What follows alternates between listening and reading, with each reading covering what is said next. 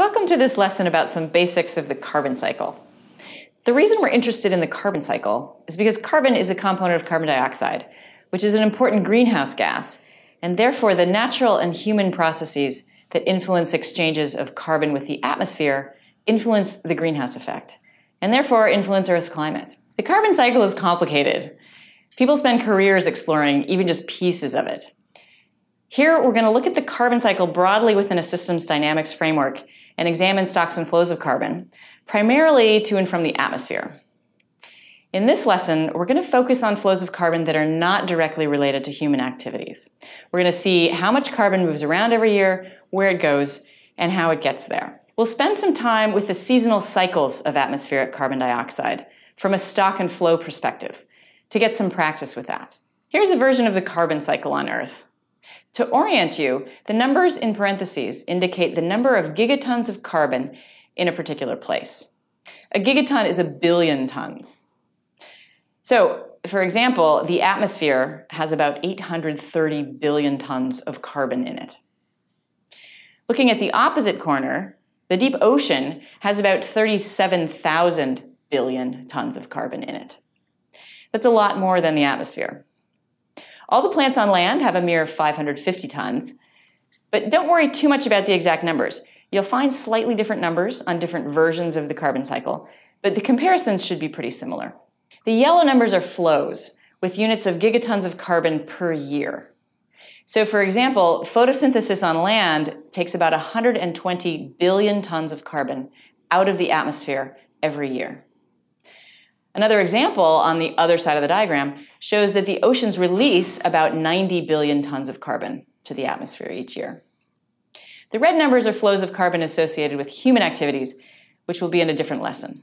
So first, we'll take a look at the most important processes by which the atmosphere exchanges carbon with biology on land. You're probably familiar with the basic processes of photosynthesis and respiration. During photosynthesis, plants use energy from the sun to combine carbon dioxide, water, and nutrients, which are things like nitrogen and phosphorus. And in the process, they produce organic matter and release oxygen to the atmosphere. The key thing to notice is that the source of CO2 for photosynthesis is the atmosphere. That's where the plants are getting their carbon. When the plants respire or decay, or animals respire or decay, the organic matter recombines with oxygen and the CO2, water, and nutrients are released along with some energy. This back and forth exchange is happening all the time. Most of the carbon that's drawn out of the atmosphere by plants each year goes back into the atmosphere fairly quickly. Just a tiny amount of organic matter gets buried every year and sent into long term storage in rocks. Notice the magnitude of the yearly exchange of carbon between land biology and the atmosphere. 120 billion tons of carbon gets transferred in both directions each year. And the other big player that exchanges carbon with the atmosphere on fairly short timescales is the oceans. Gases are constantly exchanging across the boundary between the air and the water, going back and forth, depending on the relative pressures of those gases in the atmosphere compared to the ocean. Some CO2 goes into the ocean where marine plants can use it to photosynthesize. Just like biology on land, when the marine organisms die, they mostly decay and release the carbon back to the water all of the photosynthesis in the oceans is happening close to the surface where there's light available. And much of the carbon involved in biology close to the surface sticks around there and gets recycled. But there's a leak of organic matter from the surface to the deep ocean as some portion of dead stuff sinks down through the water. And it's partly because of that leak that the deep ocean has a lot of carbon stored down there. But it doesn't stay in the deep ocean forever because the ocean mixes. So circulation eventually brings carbon rich water back to the surface where it exchanges with the atmosphere again. The mixing, though, takes several hundred to a thousand years, approximately. So the deep ocean is a pretty good place to store carbon on those timescales, as occurred during the cold, warm climate cycles of the past million years. And last, uh, notice here too that the oceans exchange a lot of carbon with the atmosphere each year with about 90 billion tons going back and forth between them. We're going to have to add to the carbon cycle figure because there are some geologic processes that both draw CO2 out of the atmosphere and return it to the atmosphere. Volcanoes add a little bit of CO2 to the atmosphere when they erupt. And the weathering of rocks, which involves CO2 and water, takes it out of the atmosphere. We mentioned there's a little bit of leakage of organic matter, which gets buried every year. And older rocks with carbon in them get exposed each year, returning that carbon to the atmosphere.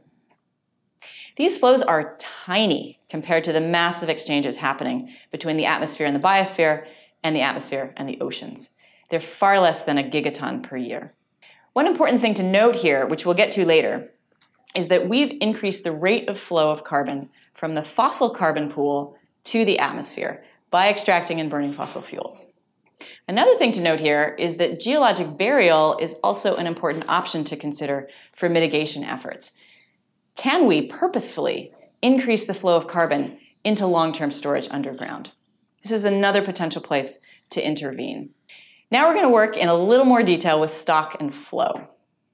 Here's the atmospheric CO2 data from Mauna Loa again, showing the upward trend, but more important for us here, the seasonal wiggles that happen. So what's your expectation? In which season do the little peaks occur? When do the little valleys occur? What do you think? Here's the pattern over the course of a year. These are data from the Northern Hemisphere. So consider seasons in the Northern Hemisphere for this. The peak turns out to be in May, which is springtime in the Northern Hemisphere. And the valley turns out to be in October, which is autumn in the Northern Hemisphere. So earlier we saw that the atmosphere exchanges a lot of carbon with plants every year through photosynthesis, which is an outflow from the atmosphere, and respiration, which is inflow to the atmosphere.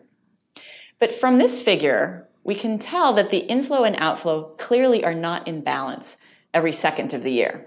At some times of the year, the rate of respiration exceeds the rate of photosynthesis, and so CO2 goes up.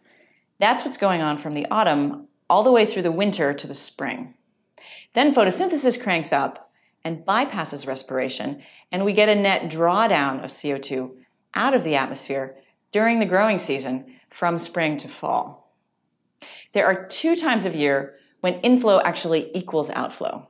One's at the peak, and the other is at the valley.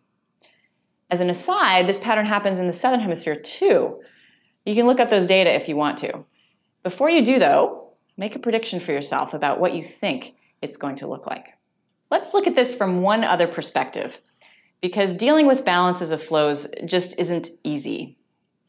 This is another way of thinking about the situation. In this figure, we're looking at inflow and outflow combined. We're looking at the net amount of how much CO2 either goes into the atmosphere or leaves the atmosphere each month of the year. Just to get oriented, look at January. During the month of January, the atmosphere gains enough CO2 to equal a little less than one part per million. In February, the atmosphere gains some more, about the equivalent of half a part per million. Then for each month up until May, the net flow is positive, going into the atmosphere. Then in May, there's virtually no net change. The value of inflow plus outflow is close to zero. That's the month when things turn around. Then in June, the net flow is out of the atmosphere. During that month, the atmosphere loses about a part per million. The biggest monthly loss comes in August, during which the atmosphere loses a bit more than two parts per million. And then we get back to a balance of flows. The blue line crosses zero again by October. This is a difficult graph. The main point here is that the stock of CO2 in the atmosphere goes up when inflow exceeds outflow. That's the positive numbers on this vertical axis. It goes down when outflow exceeds inflow. And it stays the same when inflow and outflow are equal. That's when the value here is zero in May and in October. This is just an example that happens to be of natural processes changing the concentration of carbon dioxide in the atmosphere. We could apply this line of thinking to other processes too, like the comparison of CO2 inflows to the atmosphere from human activities and the extra outflow that the land and ocean take up for us. That's a topic for a different time. So that's a short tour of some of the key processes involved in the carbon cycle and some of the key processes that influence atmospheric carbon dioxide over short, medium, and longer timescales. We also took a look at the example of seasonal cycles in atmospheric carbon dioxide, which result from seasonal imbalances in inflow and outflow. sometimes inflow winds, sometimes outflow winds, and the atmospheric CO2 concentration responds. Keep thinking about flow balances whenever you're looking at a stock of something in the climate system changing over time.